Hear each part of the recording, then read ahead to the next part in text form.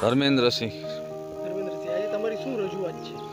મારી રજૂઆત એ છે સાહેબ કે અમે બારોઈ પંચાયતમાંથી આગલી રાતે અમારે એક એવો બનાવ બનેલો લાઇટને લઈને કે ત્રણ જગ્યાએ વાયર ભરી ગયા હતા પછી આ લોકોની રજૂઆત આવી મને ફોન આવ્યો એટલે હું પોતે રૂબરૂ રાત્રે એક વાગે જીબી ઓફિસમાં પાંજરાપોળની બાજુમાં જે આપણી પીજીએસએલની પેટા શાખા છે ત્યાં ગયેલો.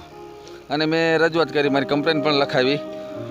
હવે ત્યાં જતાં મને એવા સમાચાર મળ્યા કે આ લોકો પાસે સ્ટાફ જ નથી જીબીમાં જે આખા ગુજરાતમાં કે સોળ સત્તર હજાર કસ્ટમર હોય આપણા લાઈવ મીટરવાળા, તો એની સામે એક સબ ડિવિઝન હોય.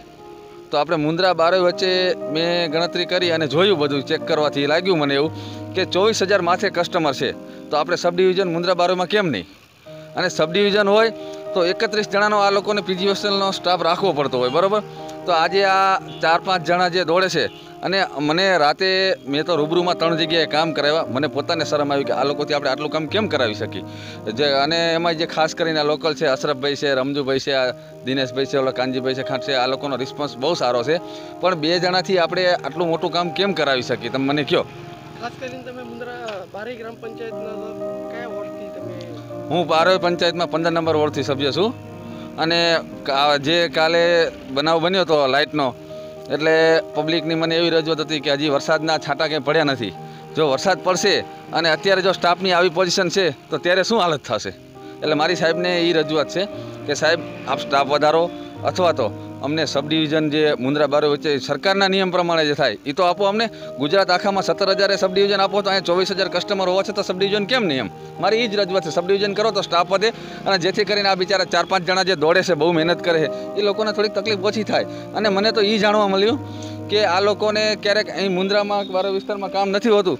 ત્યારે ત્રીસ ત્રીસ પાંત્રીસ પાંત્રીસ કિલોમીટર દૂર પણ હલાવે છે. કેમ કે એમની પાસે સ્ટાફ નથી. બંદરા સુધી આપણું મુન્દ્રા તાલુકાની હદ પૂરી થાય. જ્યાં બંદરા આવે ને ત્યાં બંદરા અને લફરા સુધી આ લોકોને દોડવું પડે છે. જે કામ કરે છે મુન્દ્રા અને બારો બારો વિસ્તારમાં. એટલે મારી સાહેબને એ રજૂઆત છે કે તમે સબ ડિવિઝન માટે રજૂઆત કરો અથવા તો સબ ડિવિઝન ન થઈ શકતું હોય તો તમે સ્ટાફ વધારો, જે સરકારના નિયમ પ્રમાણે છે તે.